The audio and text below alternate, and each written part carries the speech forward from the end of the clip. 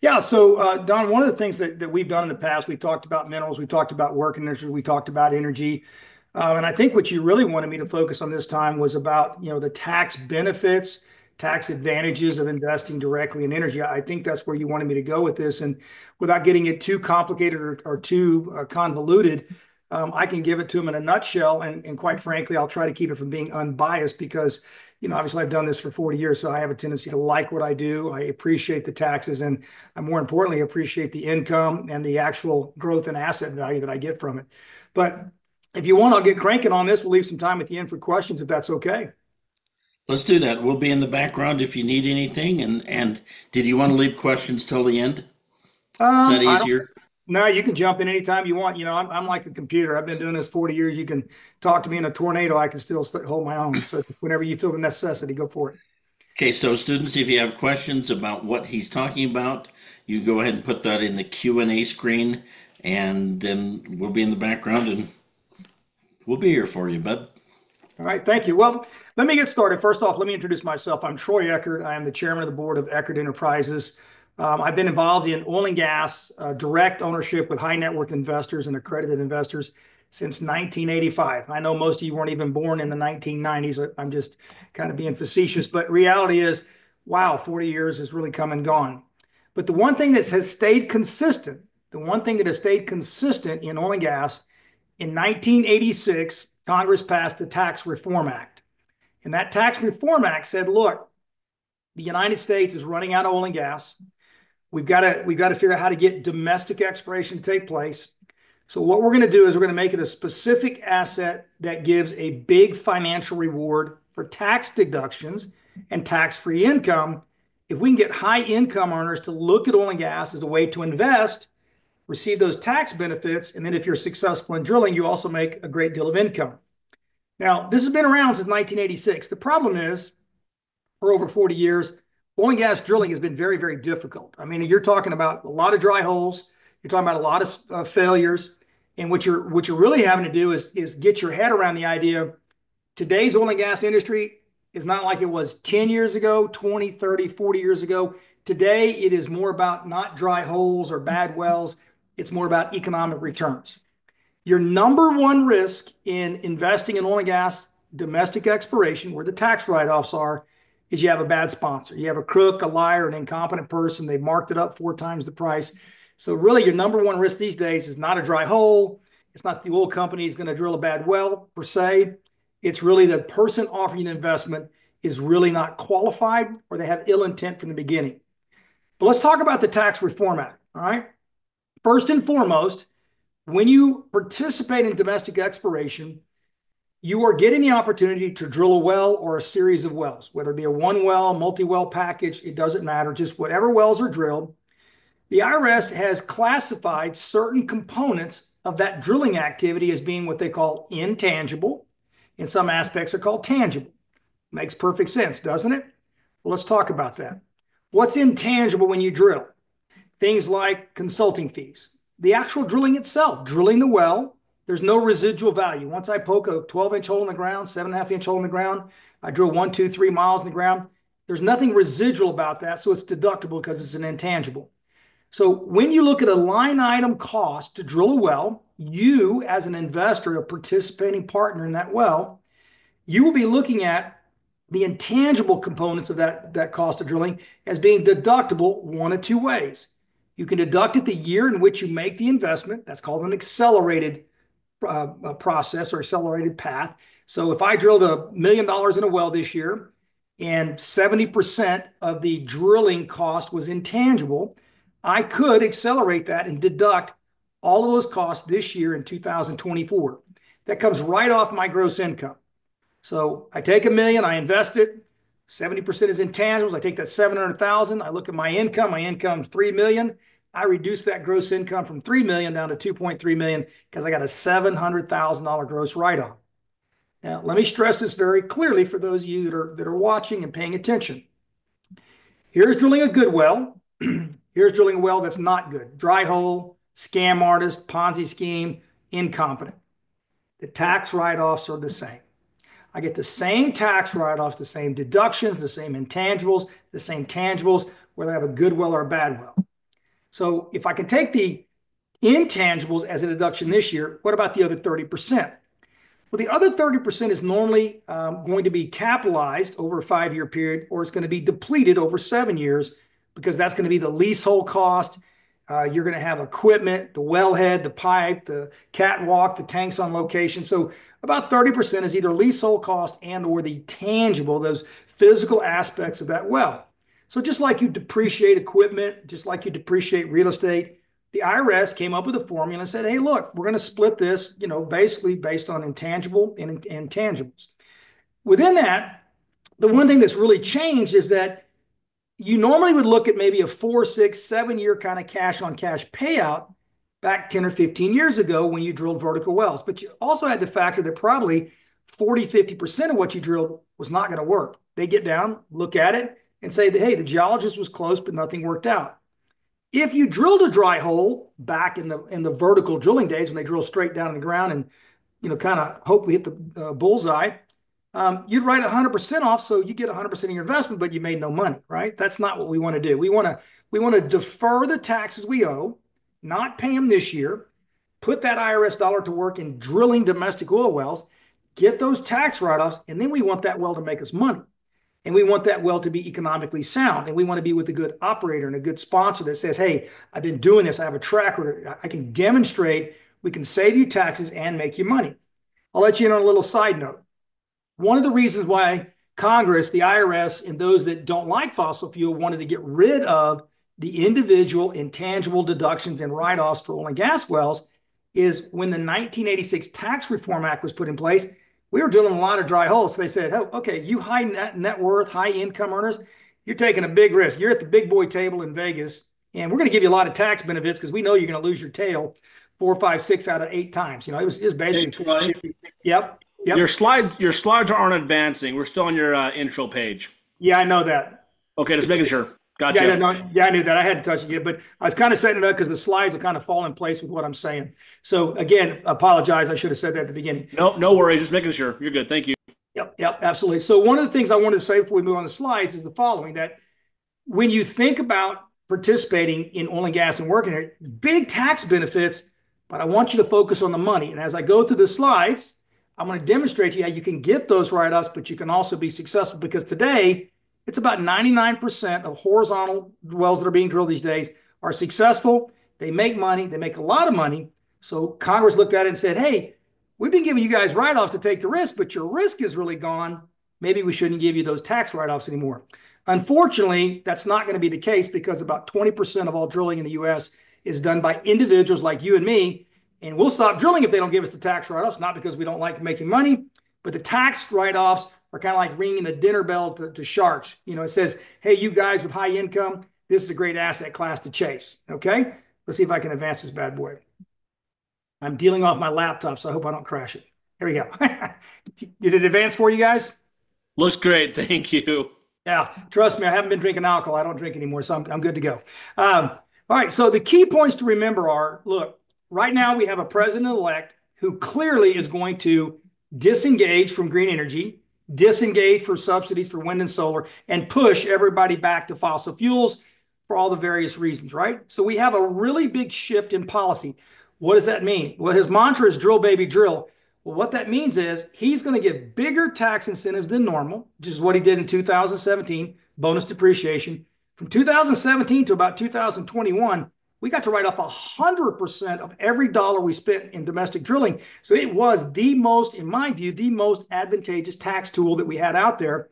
So you complement 100% write off with virtually a 99% success rate. Wow, what a tool we had during that Trump administration and carried over into the Biden administration.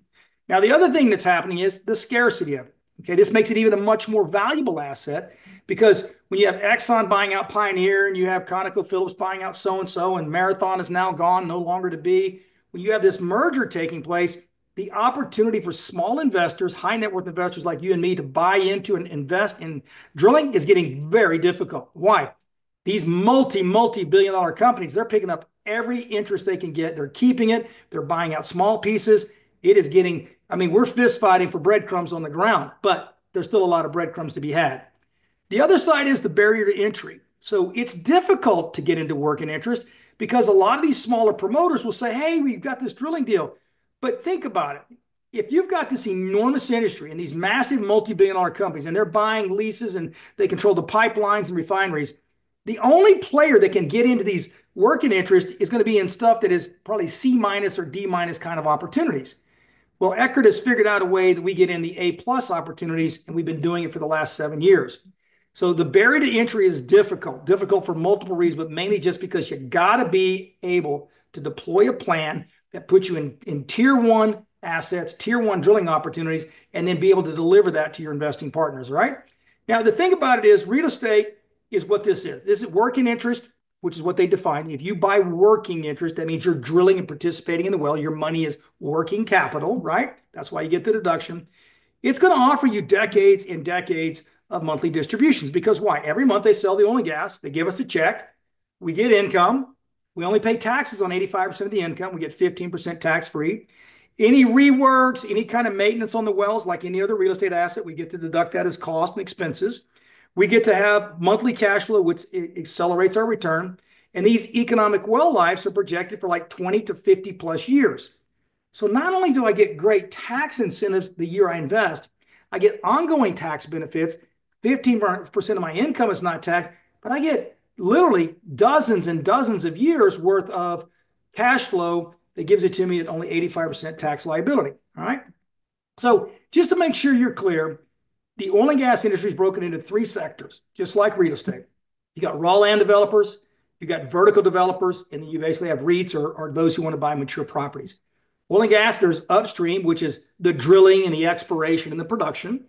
Midstream is the collection of that raw production in the field, moving it through pipelines, refining it, trucks, pipelines, et cetera. And then downstream is where it goes into the refineries, finally is processed, and then we see it in plastics and everything in the room behind me, right?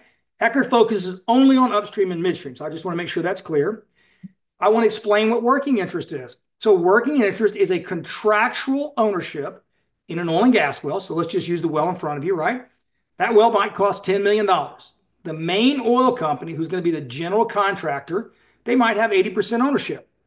But more than likely, there are other parties who are able to acquire the rights in the lease, the mineral right lease, to participate when that well was proposed. So the big boy offers, hey, here's a well we're going to drill for 10 million. We're going to pay 8 million. We own 80%. There's 2 million left. A company like Eckert goes out and looks for those smaller interest positions in the wells with some of these premium operators. And the reason we want to do that is we get to participate on all the intellectual value they have. They have some of the highest quality engineers, geophysicists, geologists, finance, production individuals. In other words, by participating with the majors, we get the free benefit of some of the smartest people in oil and gas in the world.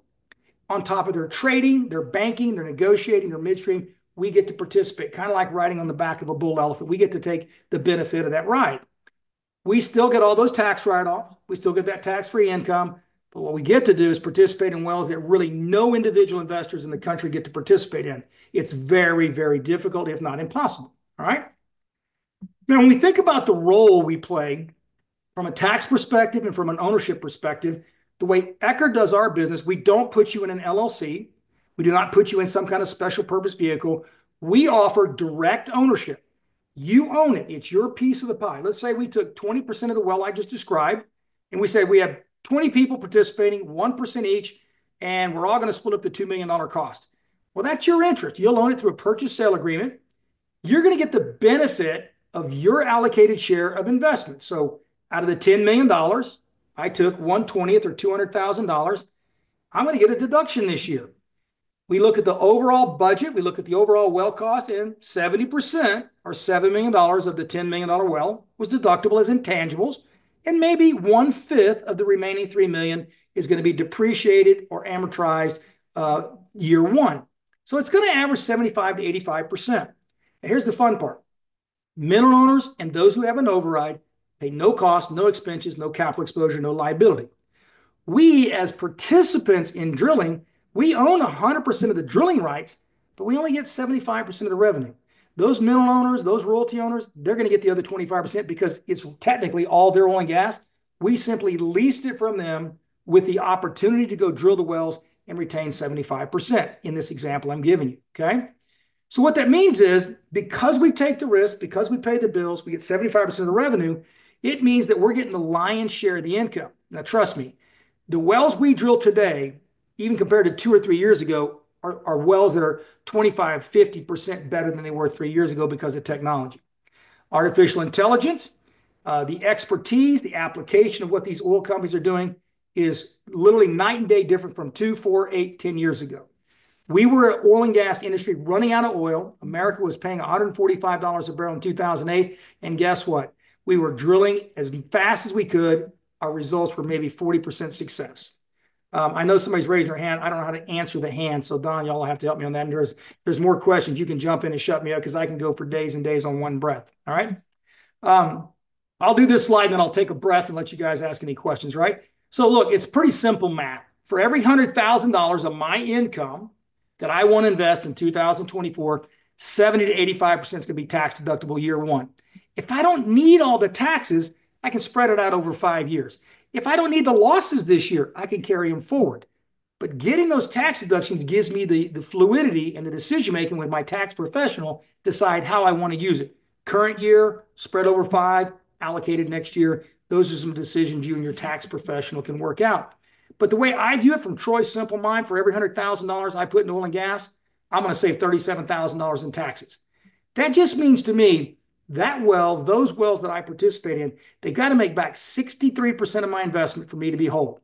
Key point the major oil and gas, gas companies that drill the well that own that 80% I described, they don't get tax benefits. It's only allowed for individual, non traditional oil and gas guys. So, individual high net worth investors, we get the tax write offs, the oil company doesn't. Why is that important? If they've got to go drill a $10 million well and make their money back and make a profit, well, I'm playing the same game they are for 63 cent, 63% of the risk and 63 cents on the dollar.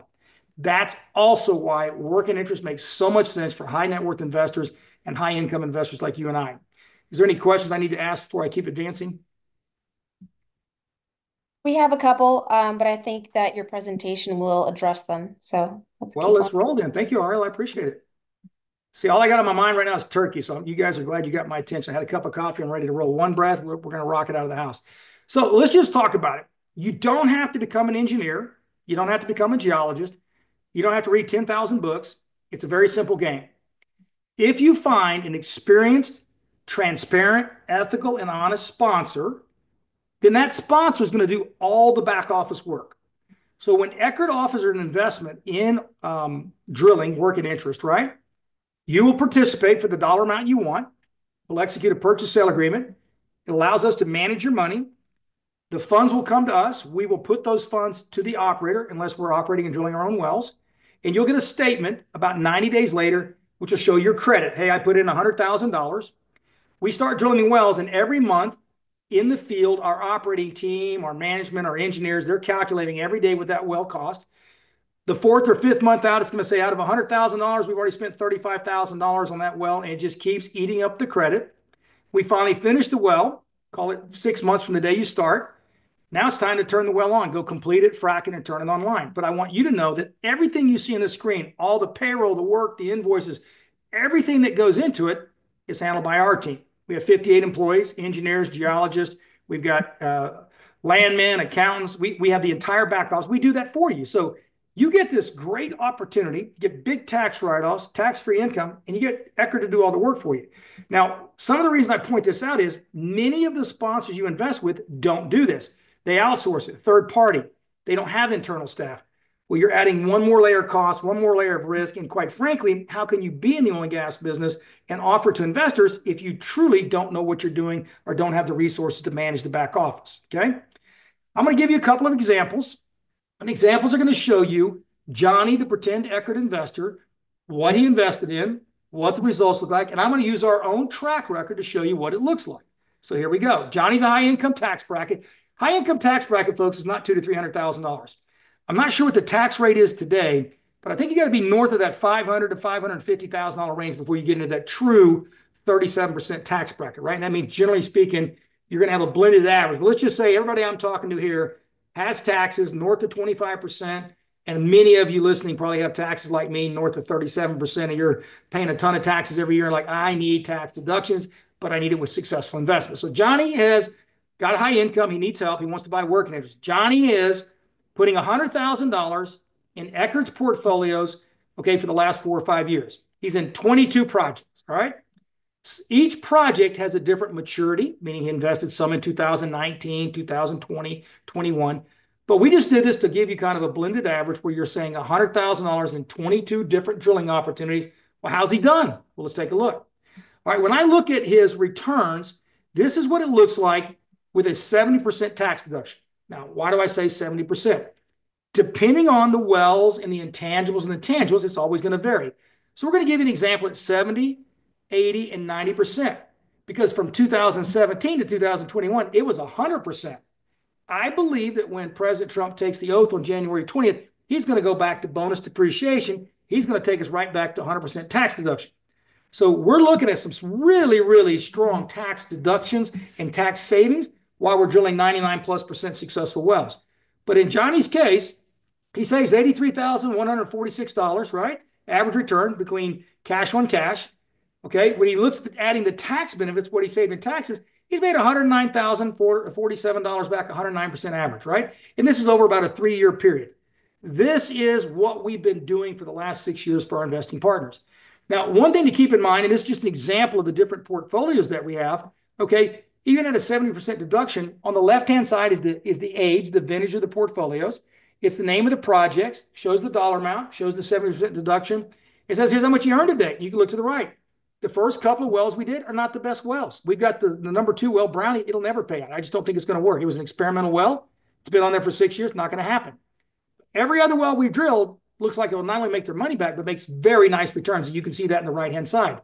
Now, bear in mind, almost all the wells we look at and we financially model, we do it based on cash on cash. We don't worry about the tax write off. We're here to make you money. Your individual tax situation allows you to determine what that means to you by participating in drilling and what that tax saving is because we all have different uh, tax planning and different tax situation, different income. But strictly from a cash on cash perspective, you can see on the right hand side, we got portfolios that made almost three times, 3.39% uh, return on their money, and they've done it in less than three and a half years. We've got some tremendous wells. They keep coming. We keep drilling them and we keep making money. And that's key. When we add the tax benefits in, well, it gets a little bit better. So we say, okay, how do we do with tax benefits? How do we do with cash on cash? If I had an 80% deduction, I'm at 113%. What if I had it at a 90% deduction? I'm at 116%. All right. Now, here's what I want you to remember. When you look at investing in working interest, all right, this is like going to a, a medical doctor. And you say, well, how, how many surgeries have you done? Um, yeah, it's not really important. I mean, I, am a neurosurgeon. I'm going to go ahead and, and, take that tumor out of your head. Yeah, but I'd like to know how many you've done. Well, you know, have you seen the way the wind blows from the north? And if you'll notice that most uh, sponsors, those people trying to sell you on the gas, whether it's a mom and pop small organization trying to raise a million or two million dollars, whether it's a guy trying to raise two hundred million dollars, when you ask for their proof of success, they don't give it to you. Or if they give it to you and you truly look at the numbers, they're not successful. Their goal is to try to get you broken even, broke to break even using your tax benefits. I'm looking at cash on cash. I want you to put in $100,000, make back your $100,000, and hopefully make two to three times that. And the tax benefits are just icing on the cake for you. I believe we're in the oil and gas working interest investment asset class to make money, and you can make a lot of money. It's income, it's cash flow, it's fast rates of return. And the tax benefits, that's just an extra freebie you get along with successful wells. So this is our track record, but I want to point out a couple of things. When you ask for that proof of concept, you're going to have to say, tell me the name of your programs. Give me the API number. Every well in the United States is given a social security number, driver's license number. It's called the API number. It's specific and unique to every well. Many people will tell you, oh, I can't tell you that. It's confidential information. No, it's not. It's on public record everywhere. You can't start a well, get a or application without an API number. So first and foremost, if you want to sell me a, a well, what's the API number? Number two, give me the specific legal name of the well. Then tell me who's going to drill it, who's the operator, who's the general contractor that's going to go get all the bids, put it all together, drill the well, and operate it and do the back office. Who's in charge? Then I want to know the location of it. I want to know where it's at. I want to be able to see if I can find it on Google Maps or if I can research it in the courthouse. Because a lot of times, nine out of 10 times, these individuals will not tell you those details. Now, Don, I know this is about taxes, but this is really important because if you want to lose 100% of your money, don't ask these questions. Go to the parking lot, set a million dollars on fire, and you now have a tax deduction because you lost all your money. We're teaching you that there is great tax advantages. There's bonus depreciation, hopefully coming back with Trump again. There is IDCs, which are intangible drilling costs that are deductible year one. There is tax-free income. There's depletion and amortization of those other costs. It is loaded with tax benefits. But all that aside, I want you to focus on making money. The second slide is another extraction of the columns in our report, our proof of success, which is, okay, what zone are we in? When did the well start drilling? When did the rig get released? We're building a template. We're trying to give you the transparency of understanding the timeline of the process so you understand. When I write a check today and they go drill a $10 million well, it takes about 12 months to get your first check. They got to drill it, they got to move a rig in, they got to frack it, they got to turn it on, they got to get revenue, they got to sell the oil and gas, get the check back, and we got to get it to you. It's about a 12 month process. But what two or three story building can you go build for $10 million and receive revenue in 12 months? The answer is zero. It is one of the fastest rotation of capital deployment, immediate tax write-offs, and the fastest return on cash on cash of any investment I know of. All right. So we go through this, and this is what's key. We tell you what the previous month return is. We tell you what the year-to-date return is. We tell you return on investment. We tell you what return on, on funding is. We give you all those details. So if you summarize it, really, this is what you want to see. The track record, the details, and then how have you done? Because how you've done most likely tells me how you're going to do for me when I decide to invest. Thanks again for the tax write-offs, but I'm here to make money. If that's true, I just look at the timeline. It took an average days from the time we spud, or spud means started the well, until we first started selling oil and gas, 167 days. 375 days from the time we spud until we got our first check to you, the investor. That's the timeline. Some are faster, some are slightly slower. Average return on investment is 83.55%. Average year to date this year return is 20.36%. Now, our model itself, the way we work it, cash on cash analysis, we'd like to make our money back in under 36 distributions. Now, what we've done to date is crush that. We beat it by a milestone. It's because we are very selective, we have a tight buy box, and we have 40 years, four decades of expertise in selecting the wells. So here's my summary. You're real estate investors. You're on the academy. You're looking very hardly at deciding if you want to add energy to your portfolio. You're a doctor, you're an engineer, you're a banker, you're a farmer. You're saying, I've got this income. I'd like to keep more of it to build my wealth. It's a zero sum game investing in the IRS. They don't give anything back. So, what I'm going to tell you is when you see the horses, it stands for horsepower. When you see the pump jacks, they're called horses, right? And what I'm trying to do is give you the analogy says the more those pump jacks I own, the more proved reserves I own in the ground. Each one of those an income generating source that generates me a check every single month in the last 20 to 50 years. And the more I drill, the more taxes I save, the more income I generate, and that income is 85% taxed and 15% tax free. I have been drilling wells since I was 20 years old. I have drilled thousands of wells. For me, the reality is I've been able to utilize working interest to invest, save my taxes, build my wealth, and as the income comes from the wells, I can either continue to invest it by buying more working interest, by deferring that taxes, and I consider it a tax deferral more than a deduction. I'm just deferring the taxes while I'm building my wealth and creating thousands of wells that provide me income every 30 days. That is the perfect plan for working interest. All right, I'm going to take open the floor for uh, questions at this point. And again, I'm sorry if I go too fast. I assume you can hear 300 words a minute. My job is to make sure you don't lose any time or value. And I think I'm supposed to give you the last slide that shows you the uh, barcode. Uh, Don or Ariel, I don't know who's going to read the questions for me, but if you guys can do it, that'd be great. Sure, I can do that. okay. Why are most oil and gas investments only designated for accredited investors? Why did the sponsors eliminate non accredited investors from their audience? Well, I'm going to be politically correct, but politically wrong at the same time. So when I first started in the business, they allowed at the company I was at, they allowed non-accredited investors. A non-accredited investor doesn't have the bandwidth to build a portfolio. You need to be in multiple wells. So a guy makes, you know, 150,000 a year, net worth $600,000. He buys 25,000 into a well. It hits. We're going to drill the second and third well, which is going to help him build his portfolio. I can't afford it. I can't afford it. So that non-accredited investor without the capital and the bandwidth he de-risks the lease, he de-risks the expiration, somebody else gets the benefits. So it was basically a decision that from the sponsor's perspective, that in today's world, you probably have to have a net worth of a million dollars or higher to truly secure the benefit. And that way you can have the advantage of being able to build a portfolio. And then the other part of it is I dealt with non-accredited investors back in 1985 to like 1988 before I went to all accredited. So no offense to anybody. Some of the biggest crybabies and whiners were those that were non-accredited because the money was so important. A guy making a million dollars a year loses 25 grand. He's not happy, but it's not going to take food off his table.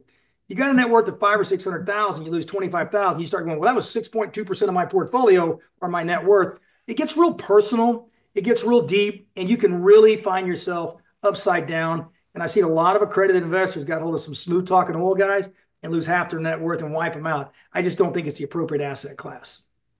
Okay, good. Love the quick talk. Tell us about audited returns your company has provided. We don't provide audited returns. Why would we? It's your it's your well. You own it. It's a direct flow through. You get a paper trail all the way back to every barrel of oil sold. You're not buying my company. You're buying an asset. So it'd be like asking the guy that sells you an apartment complex, can you show me your audited returns? You don't ask for audited returns. You're owning a piece of a well drilled by a major oil company. It shows the money invested, shows the paper trail down to the penny, what's being spent. Anytime you feel like you're not getting the correct information, you say, Troy, I'd like to come see the, I'd like to come talk to you about your books. Come on in. Uh, we'll set up a time. You come in, bring your CPA. You sit down and say, okay, can you show me when my $100,000 got in and what happened to it? Yep, when the discount stayed here, when the paperwork cleared, we sent it off. Exxon has your money. Exxon sends us a, a statement every month. We process it down to your interest. Here's your statement. Here's every barrel of oil, every load of crude oil of gas, every molecule of gas been sold. And so here's what your results are. When somebody asks me, no offense again, Don, when somebody asks me about audited financials, you automatically tell me you're not qualified to invest in working interest because you're already suspicious and you're you're trying to relate it to like buying into a startup or a company. You're buying a piece of real estate. It just happens to be a functional piece of real estate being drilled by a major oil company or Eckert Energy. And that is easily to trail, but nobody's going to spend the money to audit your money on a well. Never going to happen. Okay. How are monthly distributions being taxed? Is normal income or is dividend income? No, no, it'd be ordinary income. Uh, you're going to have a self-employment tax on it. And so basically, you're going to get that 15% uh, depletion allowance, which is going to give you 15% of your income tax free. That normally offsets the uh, active income aspect in that in that um, self-employment tax. So you get that 15% reduction, but it is active income, and that's another good thing. It is active, because I can then redeploy it next year and get the same tax benefits. When you own mineral rights, it's passive, so you got to find passive loss against passive income. With oil and gas exploration, though, it's active, and so therefore you have to treat it accordingly. So tonight we were really only talking working interest. We weren't talking minerals. There are some things that are really well done inside of an IRA. Working interest wouldn't be one of those things because it's active income. Will you Well- explain that a little bit? Yeah, so inside your self-directed IRA, the whole goal is not to lose money. The goal is is to put it in investments that make you money, frequent cash flow is really desired, and you want to build. Let's say you had 100,000 in your self-directed IRA. I don't want any expenses. I don't want any bills. I don't want any risk. I don't want to lose any money. I want to take that $100,000 and make as high a return as I can per year, let that money compound. And when I decide to pull it out 10, 20, 30 years down the road, I have this much bigger pile, hopefully as big as it can be, and I'm going to pull it out my tax rate when I withdraw it, right? When you have working interest, the idea is I'm actively participating because I'm trying to use ordinary income, not retirement income, to get that immediate tax write off but I could have a bad well. I could have a, a well that goes depleted. So you think about it a well is a straw in a shake. Only that one straw gets oil and gas out. When that one straw runs out, it has no value. I don't want to get 15 years out and find out my IRA, I've taken all that cash, I've redeployed it, but that one asset has no more value. With mineral rights, I own the entire shake and I want somebody else to go put 12 straws in it and I get my share of all 12 of those straws of extraction. So it's a perfect investment to own minerals inside of a self-directed IRA. I have no risk, no liability, no exposure, no cost, no holding cost. It compounds every month, and I can just keep doing that. In addition, if you try to convert that from a traditional IRA to a Roth, there's outside third-party appraisers who will take a look at what you acquired. They'll use the SEC and IRS standards of appraisal, and what we've seen is about a 40 to 50% reduction in the value of those minerals according to those two SEC and IRS kind of uh, uh, parameters. And so I take 500,000, I buy minerals. Six months later, I send it to a third party appraiser. They follow the code. They come back and say, we think under the IRS or SEC code, it's worth 250,000. I then transfer that from a self from a traditional IRA into a Roth. I only pay taxes on 250,000, not 500,000. Our clients have done a tremendous job in tax management by using a self-directed IRA for mineral investing to move money out of that traditional into a Roth. But working interest, you don't want that in your IRA. You want to have only IRA that's going to not lose money. That's the key. That would be an IRA would be a great opportunity to invest in mineral rights or something else. 100%. But probably not working interest. No, not at all. And Don, we probably have 65% of our capital that we've raised for um, has been through self-directed IRAs. About $500 million has come through self-directed IRAs into uh, minerals as a result of what I just described. Cool. All right. Troy, um, early on, you were talking 1987 when Congress adopted the law, and you said we, you know, there was fear that we'd be running out of oil. Um, are we going to run out of oil? And if so, when? Yeah, I can't even remember the author that kept talking about peak oil. And the concept was at some point, we're going to have tapped into the geological reserves that we know exist. And we're going to have this bell curve that we no longer have as much as we, we, we think we do, right? But the truth of the matter is, I think that oil and gas is a lot like cancer. If you paid these doctors enough money, they could probably solve cancer versus all the costs for oncology. Well, the oil and gas industry is the same way. If you pay us $9 a barrel, we can't afford to drill a horizontal well. We can't frack it. You pay us $70 a barrel, we can go two miles horizontally and we can frack it with 28 million pounds of sand. And now we're the number one oil producer. So I don't think we're running out of oil and gas. In fact, there are so many reserves in this country, but a lot of those reserves are not economically viable below $100 a barrel. They're not economically viable until you get to $150 a barrel. So if you take a static point in time today and you said, how much reserves can we produce today at $70 oil and 350 natural gas? It's a finite amount. But with technology, improvement, efficiencies, artificial intelligence, and commodity prices, all of a sudden you go from, hey, we've got 30 billion barrels of oil in the United States. All of a sudden you have a couple of AI improvements in technology. You have commodity prices go up. You go, but now we have 70 billion. They go, where do we get the extra 10 billion? Well, it was there all the time. In the in the basins, Don, that you're invested in, that I'm invested in, we're running about nine percent of the reserves in place. Are we we're recovering today at today's cost and technology? At least, you know, 91% in the ground that we're going to own and get to continue to produce for the next 50 to 100 years. So it's really cool that we're on the forefront of what's being extracted in the forefront of the technology because it's so robust and so much saturation on gas in place. We haven't even scratched the surface of what the U.S. has. Cool. All right. Can we see historical payouts of the wells you've drilled? I think you showed that on one of your slides. Yeah, I did. I can, um, if you want, I can send. Um, I don't know if I had to share right again. I can send. I think it's over here. I can send you the PowerPoint. You can send it out to all your um, your people if you want. We can do that, or you can watch this on YouTube tomorrow. Yeah. Um, we will we'll we'll record this it, Yeah. it is being recorded, but it usually takes us, oh, 24 hours to get it posted. We'll also send out the link to it to any, anyone who registered for tonight's webinar. So you're here, you'll get an email from us. Watch for that, and you'll see, and you can blow it up however big you want to do it. Okay. One thing to keep in mind on our performance record is these are big, big oil companies, and for them, four and five months taking to complete a well is nothing, right? Sorry about that. So I want to point out, like, for example, in a total return, you walk down here, the, the Borden Fraser wells are 235% return, 313% return. Each one of these individual wells in this antelope, this is an antelope project with like four or five wells. They range from 105%, 51, 68%. But see, as an investor, I don't care if one well does 52. I just care that all of them are productive, all of them are generating income.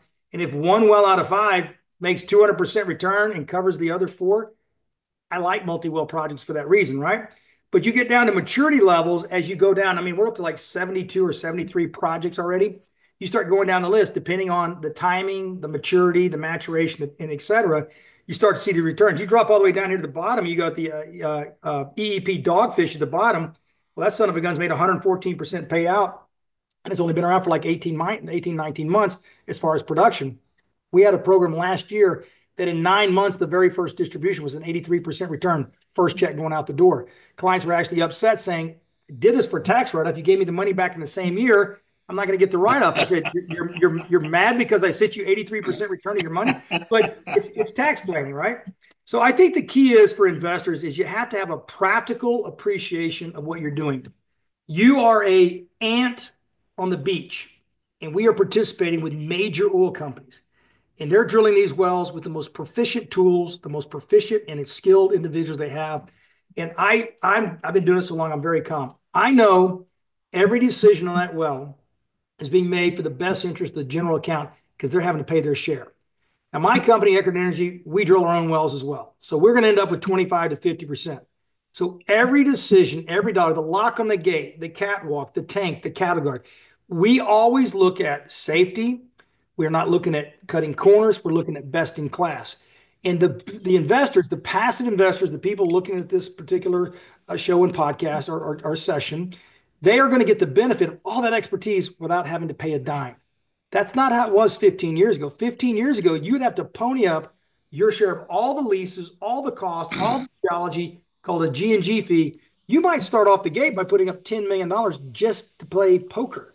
We don't have to do that anymore. Now we can just take a piece and drill the well. It is so much more in favor of the individual investor today than it's ever been. I'm having the time of my life making my clients a ton of money, and I got zero pressure. I never have to go, hey, Don, that was a dry hole. So sorry I lost your money.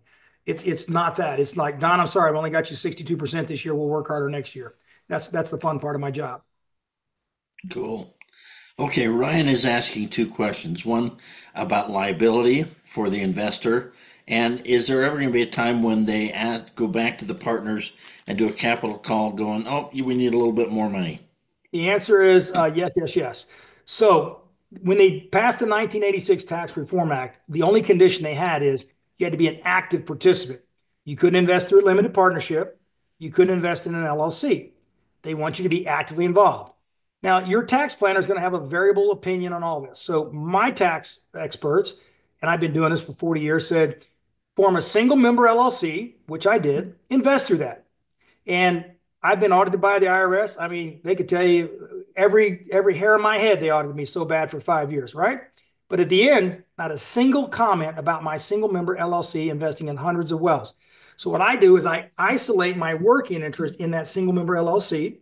That allows me to protect myself from the liability, but I'm also following the IRS guidelines of being at risk and then, of course, the liability is real only because you can have accidents occur. But in my 40 year career, I've never had a single well or a single claim against my company, myself, or any of my investors ever. And I've had rigs on fire, I've had guys killed on rigs. It just goes through the insurance. The insurance is so massive, it never passes through. Now, the ideal is historically, what you want to do is manage that risk by, in my case, forming a single member LLC and then there are cash calls because here's what happens. When the the operator, the company that's going to go out and think about a general contractor in real estate, when they go put the bid together, some of those bid items are fixed. Hey, Mr. Drilling Contractor, the guy I'm going to pay to use his rig, how much you going to charge? That's $27,000 a day. Includes staff, fuel, blah, blah, blah. Great, thank you. Hey, Mr. Tank Guy, how much are my tanks going to be? Well, if you buy them in the next 90 days, it's this price, but if you don't, it's subject to market change.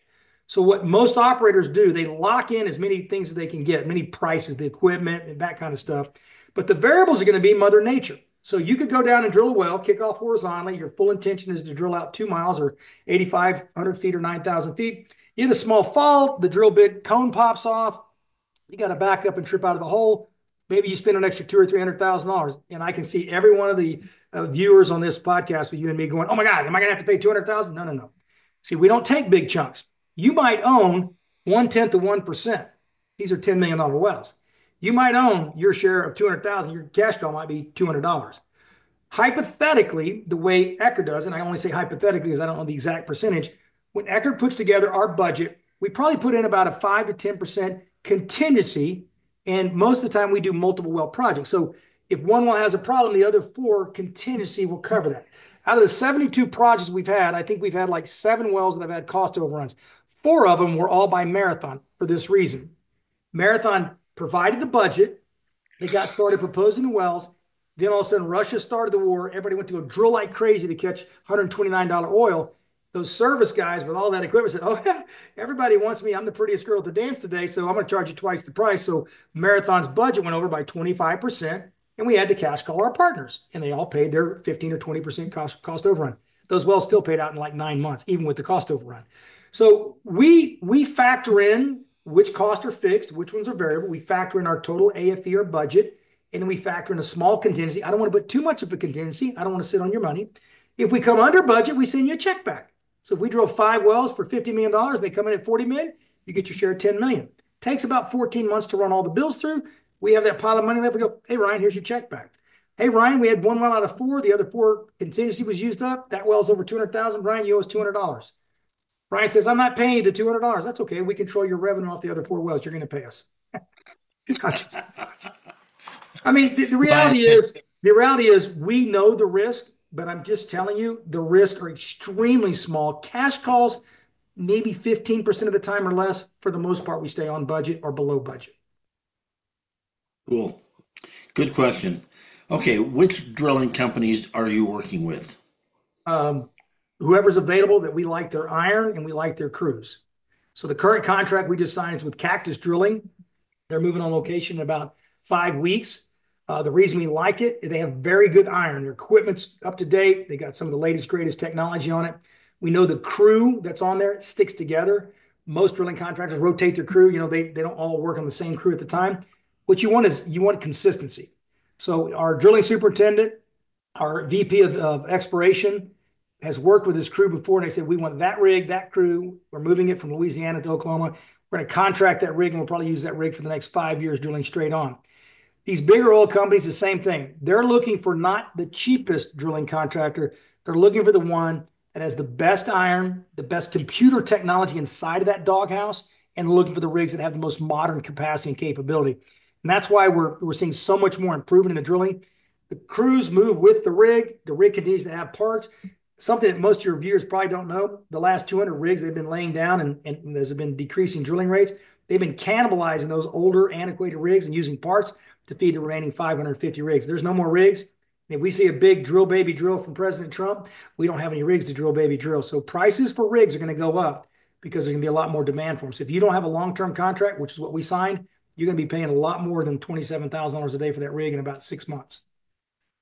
We have no more rigs. Joe's asking, can we, can this be used to save on passive short-term capital gains tax? Mm, I don't think so. No, I don't think so. I think you need active income. So I think the idea for this is you got to look at your overall portfolio. You know, I got a basket of passive income. I got a basket of passive losses. I got, you know, W-2 income. I got investment income. What your accountant should do is look at all your baskets, measure against each other and say, based on A, B, C, I don't think you need the tax write-off. Or based on what you have, let's take some income over here, put more of your income into drilling, use this other passive income from your investments to do this. And the key is I'm not a tax expert, but I can tell you I got some pretty complex clients, very wealthy, you know, 2 million to 2 billion. And what they do is they just say, accountant, professional, here's all my income from everything I own. Here's all I have as far as, you know, whatever I invest for deductions. And they're going to say, you need a million dollars in tax write off. You better go call Troy and put your money in. We had a $50 million drilling program out about eight weeks ago. It funded in about seven days. And we have clients screaming, we need another 20 or 30 million dollars in drilling in the month of December. If we can find it, we'll deliver it. But I can tell you right now, in my opinion, the number one asset clients are going to want to be involved in for tax deductions is going to be working interest. Um, I understand the cost seg in real estate. I understand all the depreciation, all that kind of stuff. But at the end of the day, what you want is you don't want to figure out how to lose money. You want to make money. And if you can take those taxes with it, it's a home run. And I think that's going to be the exciting part is everybody's going to be driven to work working interest and that working interest is going to deliver those financial returns. And that's really going to be exciting to see how that, that builds a lot of portfolios very quickly. Okay, Keith is asking, do mineral rights owners get all the tax benefits? Do they Mineral get right any owner- tax benefits? You get none. The only way you get a write-off is you got to have something at risk. Mineral owners are like big fat guys sitting in the back of the uh, limo pointing direction. They're just like, hey, it's my limo. You drive. I send me my check. I mean, Troy's a man. I sit in the back of the limo, my big old chubby belly, and I'm just like, send me a check. I don't get bills. I don't get expenses. I have no holding costs. I have no property tax. I just get revenue. So the idea for minerals, the only tax benefit you get from mineral ownership is you only have to pay taxes on 85% of that royalty income. So think about it like uh, like Vegas, right? The mineral owner's the house, they own the casino, and they've allowed the casino manager to go in there and run the floor. And they're paying the cost, paying the bills, and you know, taking a chance with the gamblers, right? The working interest owner is the ones that are drilling those wells. They own interest in those individual straws put in the ground. The mineral owner, I want them to drill my property like a pincushion. I don't care if well number one is a dry hole and well number 20 makes all the oil and gas and the other 19 wells are horrible. I get my share of every drop of oil and every molecule of gas. Now, I want my tenant, the oil company, to drill great wells. That means they're going to produce a lot of oil and gas for myself, but I take no risk because I don't care which well it comes from as a mineral owner. I get it all. As a working interest owner, I'm putting my money in individual wells, and those wells and what they produce are going to be my relative return on investment. And that's why working interest is more difficult than, than minerals, but that's also why you get a big tax write off. Okay, so if somebody wanted to talk to you or talk to somebody on your team about this, go back to your last closing slide. Yeah. And and and, and let's I think I avoided that one too, but I think I messed up. Aria's gonna, Aria's gonna get me in trouble. She's gonna be like, "You didn't follow instructions." I said, "I know I didn't." All right, let's go through it. so how do they get involved if they're interested? Well, the main thing is, and I always gonna tell everybody, look, the main thing is very simple. All right. Um, gosh, dog, did I do that wrong? Nope. Okay, let me get to it. Bing. I told you I'm not that good when I get off here. Why is it not giving me the last screen from the current slide? There you go. That's There it. Okay, got it. Yeah, Don. So the way they get hold of me, and I'm just going to be very candid with everybody as I normally am. Look, there is no pressure from any of my staff to talk to them. You can talk to them, ask them any question you want. You can ask them about auditing my company. They'll probably give you the same answer. But the idea is if you take this, this uh, QR code, it's going to take you to the site that's going to give you information. We probably have thousands of hours of training video and transparency and how things work. You're probably going to get sick of hearing my voice and all the information we give you. But here's the thing.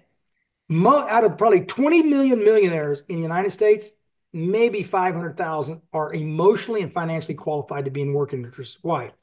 Because it takes somebody that has the courage. It takes somebody to say, you know, I'm owning an asset. It's a piece of real estate. You know, the probability is based on Troy's track record, I'm going to do really, really well. But you always have to assume the risk. You always have to know you're at risk, and you have to you have to have the income to support it because otherwise you're taking risk for no reason, right? So go to the site. We built a very intricate app. It's the only app like this in, in natural resources. It's called Eckert Insights. Once you invest, you can literally look at every one of your wells, all your minerals, every deed, and you can do it 24 hours a day. We made it mainstream.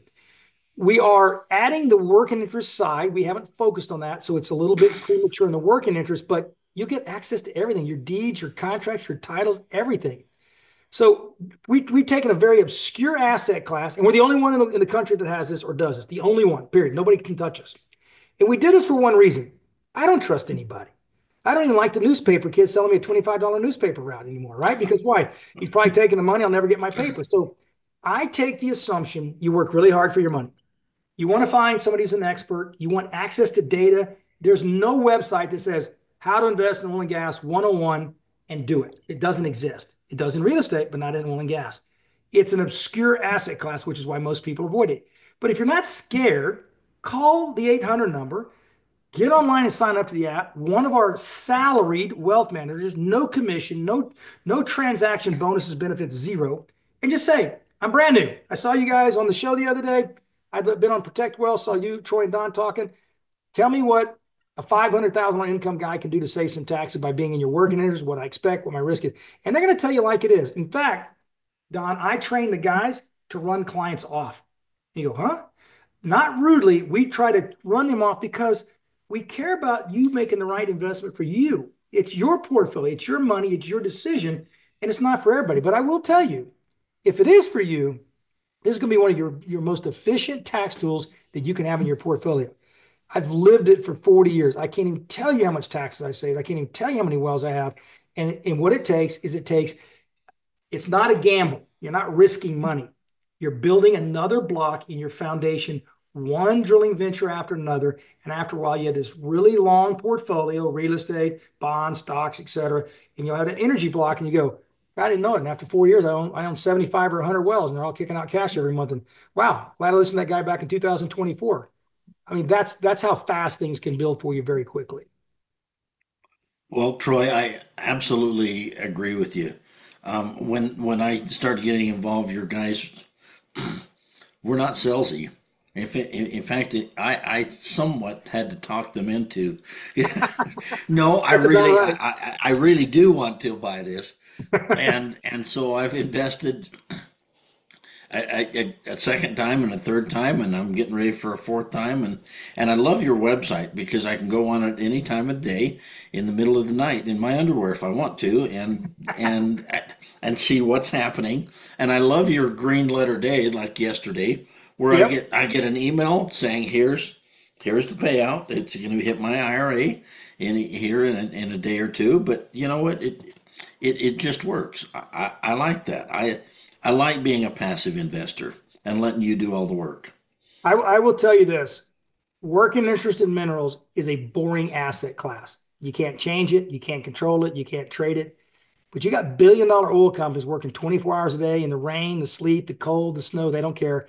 And these wells are generating you money truthfully 24 hours a day, seven days a week, every day of the year. So it is probably the most true passive asset you'll ever own. I sit back and I'm bored out. Of, I'm bored to tears. I own all these minerals, all these wells, and I'm like, what am I going to do today? Well, there's nothing I can do. I mean, I got 7,800 wells producing income for our clients and for myself, and I'm like, they don't need my input. It's just what asset am I going to buy tomorrow? Because it's so passive, it can be a little boring. But you know, I like boring making 12, 13, 30% return. I mean, our minerals are making almost 13% cash on cash. Our our working interest is making over 30% return a year. Bore me to tears at those kind of rates of returns. I, I could care less if I that's all I do was buy minerals and working interest if with those kind of rates of return. And again, to your audience, none of your questions are not respected and none of your questions are in fact not appreciated. You got to know, you got to ask. The only reason why I say I'm kind of sarcastic is because the truth is, I've been doing this so long, I kind of know who's going to be an investor and who's just poking the bear. And some of you have been burned in bad deals. You're going to have to really trust the sponsor. So I, I would say, like I did at the beginning, your number one risk is the sponsor. And there's a lot of bad characters in oil and gas. There's a lot of bad intentions in oil and gas because they know you're going to hear that word tax deduction like a dinner bell to sharks, and you're going to come a running, and your common sense will be out the left door. Protect yourself. Ask for proof of concept. Ask for track record. Ask for resumes. Find out what the guy's been doing. I'm going to tell you, if you can't look on the internet these days on Google and find out what that person's been doing the last 5, 10, 20 years, there's a reason why that that trail goes cold after three or four years because that's the part they don't want you to know about. Um, hit just a couple more questions for us, Sure. if you would. No problem. Um, the success rate of oil and gas. When when I started hearing about it years ago, um, dry well, dry well, dry well. It's not that way. Why? Is it technology? Is it fracking? Is it it's, combination? we knew that these shale zones were there all along. So basically, shale basins are like modern day Grand Canyon. These basins were, were, were evolved through erosion and through the oceanic movement, and they deposited just massive amounts of shale that compacted this organic dead material, which makes up oil and gas. We knew it. My brother used to drill vertical wells back in the 1990s. He said, you know, we drilled down about 6,000 feet. We hit this shale. It's so hard. It's like concrete. It, it we take a, a core sample. It's loaded with fossil fuel, but it's like wet concrete. You can't get it to flow. And he used to cuss and scream about drilling through shale. What a piece of junk it is. It tears up the bits. It's a pain in the neck. Had no idea that was the mother lode. And so where you avoid the dry holes is instead of trying to hang a bob and get a geologist and a drilling company go down and find a seven and a half inch target out of 300 acres and hope you hit it like a, a buried river channel. Now you say, well, this is a Grand Canyon. It's 40 million acres loaded with oil and gas.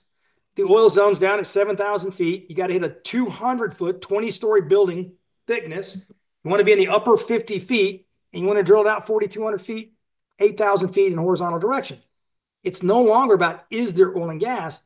Now it's get the drill bit in the sweet spot in that 200 foot zone, which is easy because we use triangulation and satellites. We have chips behind the drill bit guiding us within 12 inches of accuracy.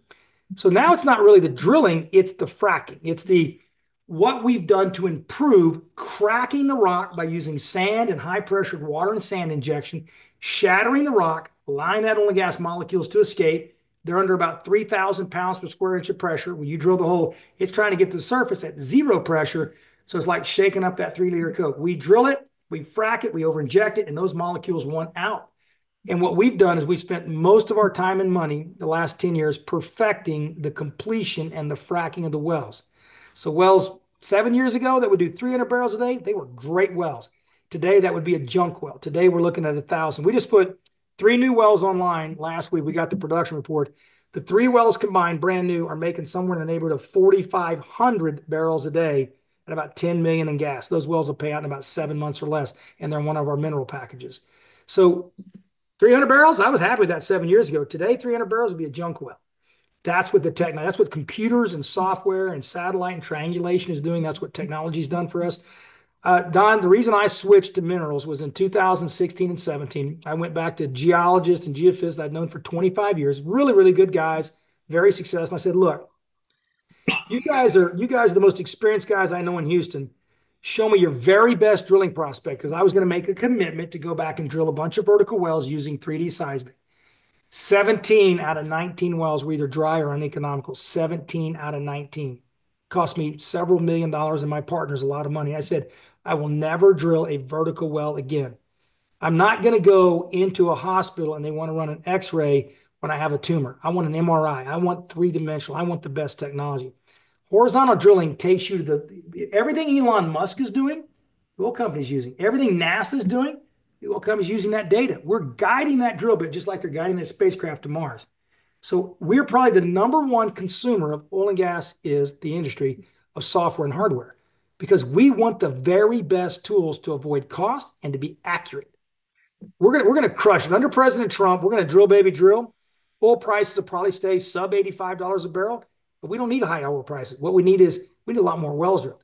The more wells we drill, the more production we have, the more income we make as investors. So I, am not worried about high price oil. What I want is I want the economy to stay stable. I want consumers to be able to survive and live without inflation. I will take 70 to $75 barrel oil and I'll take three to 350 natural gas and we make a mountain of cash successfully while we're taking tax deductions. It's not a hard game plan. You just got to find the right sponsor. Okay, we got nine open questions. Can we get through these in about five minutes? I'll make each one less than 45 seconds. Go. There we go. Okay, if I invested today, could I get the entire deduction this year, or do I need to wait until all the money is put to work? No, once you write the check and you participate in the purchase sale agreement, we've already committed to that that well we offer you. As long as we start activation on the well before March the 15th of next year, that 100% investment will be applicable to the tax deductions that are available from that investment this year. Okay. What's the average monthly payout? You mentioned that a couple minutes ago, but go over that one more time. There is no average. We have a financial model that says every well we participate in, we target 36 distribution or 36 productive months or less. We're crushing that because we want to be realistic. We're gonna we're gonna underestimate and over deliver. So if you're an investor I'm going to write a check today, November the 26th. I'm to see my first check probably November, December next year. And then I want 24 to 36 months of distribution to get 100% of my money back, not counting tax write offs. So you can calculate probably your first year, you might see 40 to 60% back. The well declines. The second year, I might get 25 to 35% back. And then I'm paid out by the third year or faster. So that's the way it works. Big checks in the first 12 to 14 months. The well declines. I get the rest of my money in year two and three. I'm paid out, and that well's going to last for 25 years. So at that point, it's exponential returns, and I could care less because I'm going to redeploy the capital. That was 42 seconds. Go. Okay. Uday saying we, we're looking for the income, not the tax write-off. Well, you're looking for both, but but mainly the tax, or you're, you're mainly looking for the income. That's why we're investors. Yes. Yeah, the, the problem is is that I think the financial industry has has ripped off investors for 30 years since I've been in the business. You look at every investment out there right now, the first thing they tell you tax write-off, tax write-off, tax write-off. What is a tax write-off? I've lost money. That's why I get a write-off. So the idea is if you're going to get a write-off, focus on the 63% that you would have kept had you just paid your taxes. Every year I pay a lot of money in taxes, a lot, even though I have drilling, right? Because if I don't find a well or wells, they're going to make me my money back, my full million dollars. I don't want to invest. I'm not just going to invest to save the 370,000 and I lose my 63% of my 630,000. But the financial industries talked us into the craziest investments in ostrich farms and grass farms and this and cost segregation and crappy wells because we hear tax fraud and we, we think it's a mortal sin to pay our taxes. It's not. If I made $10 million and I gave the government 3.7 million, I got to keep 6.3 million after tax because I couldn't find anything to invest in, I'm way okay. I don't want to put the 10 million and lose the 10 million. Hell, I'm, I'm 10 five times further behind. You invest in any investment, number one should be making money. Number two should be if I'm going to make money and I choose which asset, what tax benefits do I get as kind of a complementary side dish to making the money? I've represented millionaires for 40 years, Don. The most successful clients I have really don't give a damn about tax write offs. They don't. I'm like, you got tax write offs? I don't care. I want to make money. If it comes to tax, tax write offs, great. And it's just the attitude they have, which is totally opposite than 98% of most investors. Most investors are like, tax write off, I'll do it. Boom. You just lost all your money. God, that sucks. What happened? Well, it had no, it had no reality. There was no uh, validation that the asset was any good, but you got that write off you were looking for. Too bad you lost 63% of your money. Okay, how many years income will earn? How liquid is the investment? And when can you pull out of the investment and how? What's what's an exit strategy for this? That was three and one, so I'm going to take 45 it seconds. was. Um, there is no liquidity. You own an asset. You can sell it. And typically, being when you want to sell it, you don't want to sell it until three years of ownership because the IRS has a recapture rule that says if you try to sell and you've taken a write off in oil and gas, working interest, you have to have a recapture of any deductions you've taken up until the third year. After the third year, you can sell it. You could do a 1031 exchange because it's real estate. Typically, in my career, the working interest you own, if you decided to sell after three years, you're going to say, okay, I made my money back. I got my tax write off. I don't want to own it anymore. Um, we do not have an online market for working interest, but we do for minerals. What would typically happen is our engineering department would run your income, your interest on that wealth through the financial engineering model. And we would say, your $100,000 you invested, you made your money back, got your taxes. Today, that well is generating $30,000 a year in income. We'll take a decline curve, commodity price, plug in abandonment cost, operating cost, say, we'll offer you $22,000 today, and it's a net present value NPV of 12%. And you go, that's all I'm going to get? Well, we got to produce it 20 years to get our money. We got to plug the well. We got operation rework. Well, I don't want that price. Then keep it. What do I do with it now? Tell us you want to sell it, and we'll put it out to the other 2,700 clients we have, and somebody's going to buy it. I've yet to see any client not sell back into the additional or the existing Eckert client base because we have 2,700 smart, wealthy clients. We all want income, but you're going to get even beaten up worse in the public market because you're going to have professional engineers work you down and squeeze you. They might offer you $12,000, but we may pay you 22,000 for it. So that's the liquidity standpoint. As far as cash flow, these wells are calculated to last 20 to 50 years, and that's a check every single month. But at the end, they don't get their original, their initial investment back plus returns. Sure, they do. They're getting. Sure, they do. What's that? I mean, I put in a hundred thousand. I, I put in a hundred thousand in a project. It pays me out in the next twenty four months, so my money's back, right? So it's like buying a rent house. I bought a rent house for hundred grand. I charged a really high rent. and I got all my money back in thirty six months. So now I own the house free and clear, and the tenant's going to keep paying me rent. I got exponential return, right? So what you're getting back is income because it's not a return of principal. I mean, I'm getting income on my asset, which is the interest in the well. That's the real estate. But once I recover my investment, I got no more exposure. The question then becomes, well, what's the residual value? Well, you're draining a swimming pool. Every day you're taking oil and gas from that well out of the ground that's never going to be there again. You're depleting it. That's why you get a depletion allowance. But you may say, well, how do I know it's going to be worth more or less? Well, here's the deal. I got, we just bought a package of, I don't know, 200 producing wells we calculate, we ran it out, and these wells have been online five, six, seven years. We paid like uh, $30 million for them. Why? The reserves have barely been extracted. The value today is higher than it was seven years ago, and we still have a lot of running room with them. So all I can tell you is this is not like buying a house, right? You're buying a well, you're getting a depletion allowance, you're producing a finite amount that can be pulled from that one given well. The idea is to get your money back in 36 d- distribution months redeploy the capital. But now you have proved producing reserves in the ground. That might be another two or 300,000 barrels of oil produced over the next 30 years. I've got wells I own today. I make more money today at $70 oil when they were drilled 15 years ago at like $30 a barrel. But I make more money today because they've improved the technology, they reworked the well, and I got higher commodity prices. So I can't give you a finite answer, but you can't suck all your your your your shake with one straw and expect to own the whole shake. It doesn't work that way. Cool. All right, that was 47 seconds, but I'm sorry, All I right. went seconds over. what's the minimum amount to invest? Two point five million dollars per client. kidding. I'm in that Thanksgiving mood, Don. No, uh, in working interest, it's at least twenty-five thousand dollar investment. We, what we really want you to think about doing three or four working interest programs so we can diversify you and give you three or four bricks to start that portfolio. Minerals is twenty-five thousand to fifty thousand per portfolio. But again, and just being very candid, we don't have the bandwidth to manage seven thousand people. We're really, really looking for investors that are saying, I want to be in energy. I've done my homework on Eckert. I like you as a sponsor. We're wanting you to kind of look in that two hundred fifty thousand dollar range for minerals. You know, four, five, six portfolios at twenty five to fifty thousand to give us a, really good block of foundation for you. Working interest, you really need the income. And when I see somebody putting in twenty five thousand, that tells me you probably don't have the income. So you really ought to be thinking to yourself, you know, if I make a half million this year, maybe I should put 150,000. Troy, how do you think we should deploy it? Well, I do 50,000 in three portfolios, give you multiple wells, different maturity, and those things come online, you can redeploy the capital. So minimums are 25 to 50, but we really want you to think about multiple portfolios because we just don't have the bandwidth to hold one person who throws 25,000 in because they're going to want the same treatment as a guy who puts in, you know, a million dollars in 25 projects. And it's not being disrespectful. I just don't have the team. We're at 58 people and we want to give you very personal attention. We want to kick butt, make you a lot of money. One thing, Don, I've told people for years Troy's not a dummy. I have one goal make all my investors a ton of return and cash flow on their investment. You don't have to have the best website, you don't have to have the fanciest swag. Just perform, make people money day in and day out, be transparent.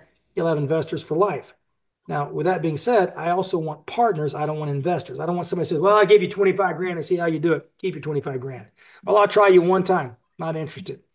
I want somebody to be my partner that will learn, understand the business, understand where we're going over the next 10 years, what kind of vision we have. And I want you to be a serious partner, not a serious investor. Okay, do you expect Trump's election to be wind at our back? Oh, baby. About a thousand miles per hour. Once he put once he puts sanctions on Iran, once he gets Vladimir Putin put back in his cage, when he takes away the subsidies for all the wind and solar, um, we're going to see a significant demand increase because of his infrastructure plays, bringing all the manufacturing back home. Inflation's going to kick in. He's got tariffs going against China, Canada, Mexico. Not one thing he said is anything except a thousand miles an hour wind behind our back. Here's the only problem: we don't have the equipment. So that drill baby drill worked in 2017. Drill baby drill is kind of a false threat. We don't have the equipment or the crews. So unless oil stays at 72 to 80 dollars a barrel, these oil companies, these Exxon's of the world, they're just going to stay right where they're at. They're going to drill off the cash flow, stay right where they're at. You can even lend us money. We don't have the equipment, we don't have the manpower, and we don't have the incentive.